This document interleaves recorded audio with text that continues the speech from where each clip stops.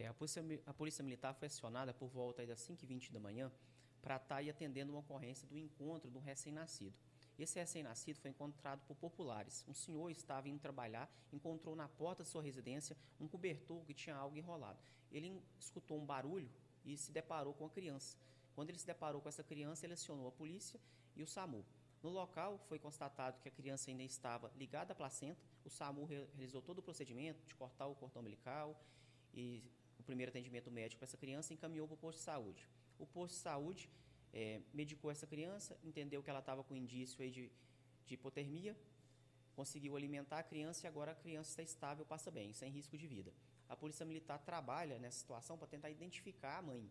Essa mãe, é, a gente está procurando aí nos bancos de dados do hospital se ela fez o pré-natal ou alguma coisa do tipo para a gente conseguir estar tá identificando.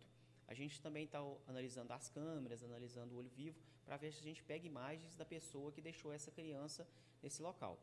E caso essa mãe esteja nos ouvindo, ela pode se apresentar para a polícia, que a gente vai auxiliá-la aí com assistência social, para ela, se ela quiser criar a filha dela, para ela ter condições, caso ela não queira ser essa criança disponibilizada aí para adoção.